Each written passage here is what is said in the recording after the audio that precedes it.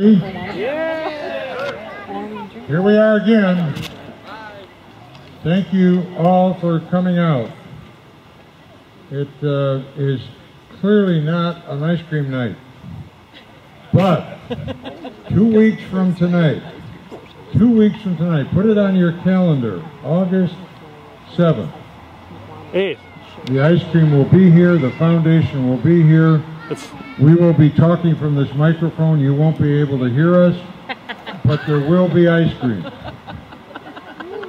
So I appreciate if you'd all put that on your calendar and you can come see all the other people in Whitefish Bay while we're here. Stay tonight. Stay tonight? What happens tonight? Because we're gonna still play. Fran thinks we're going to still play tonight.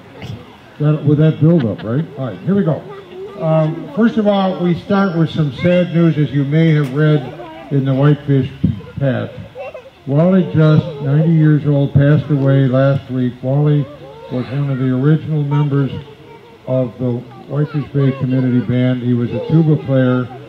He was uh, one of the founders that kept this thing going. He was here all the time. We've missed him this year. He's been playing up until last year.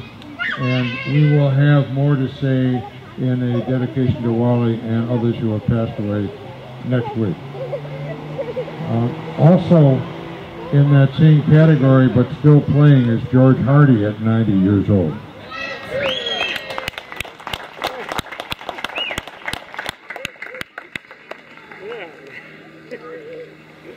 Our first piece is the Radetzky March. It is one of the three most popular marches ever written.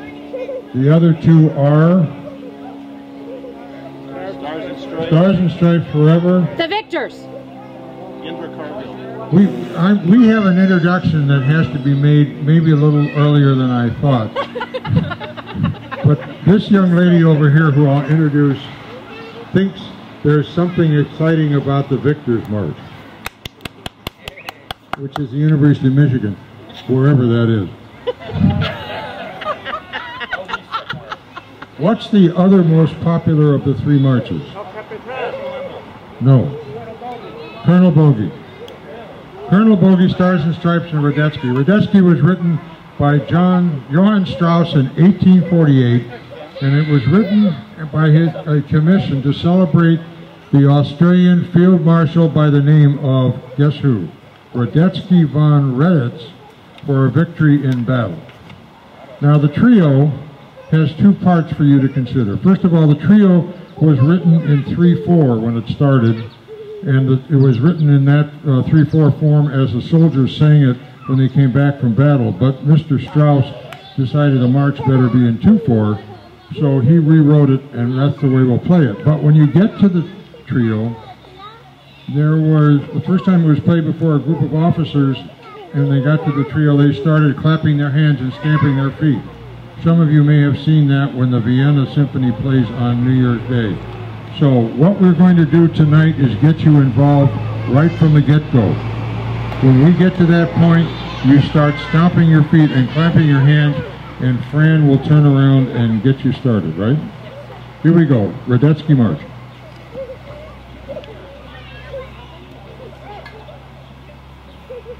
You're going to have to be more quiet. It's not possible.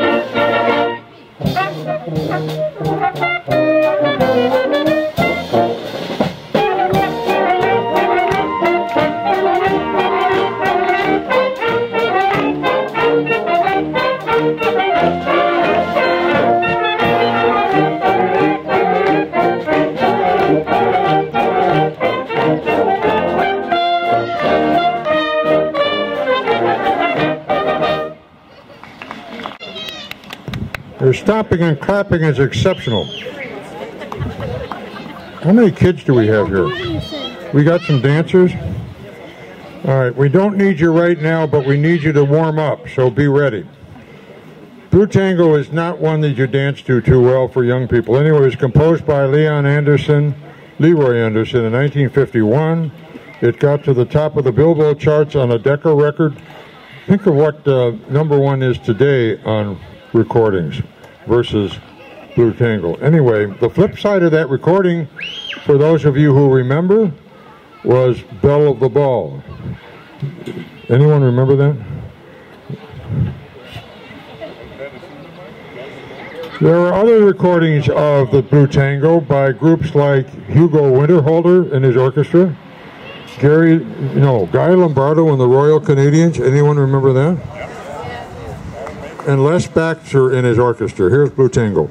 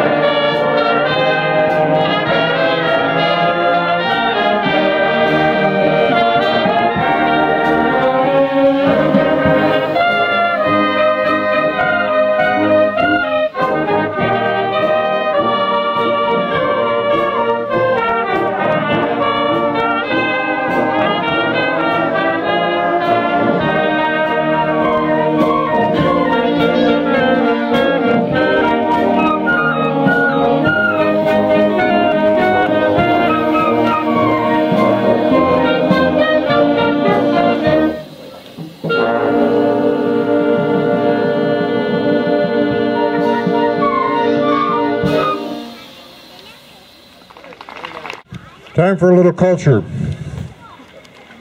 Theme from the 1812 overture by Peter Ilyich Tchaikovsky. Written in 1880, he wrote it as a commemoration of the Russian defense of their homeland from Napoleon. And as some believe, it has nothing to do with the 1812 war between the U.S. and the British. But we do seem to play it a lot on the 4th of July. So tonight, with that as background, we are not going to play it. We're going to play it not with cannons, not with chimes, and not with fireworks. We're going to play it straight. 1812 Overture.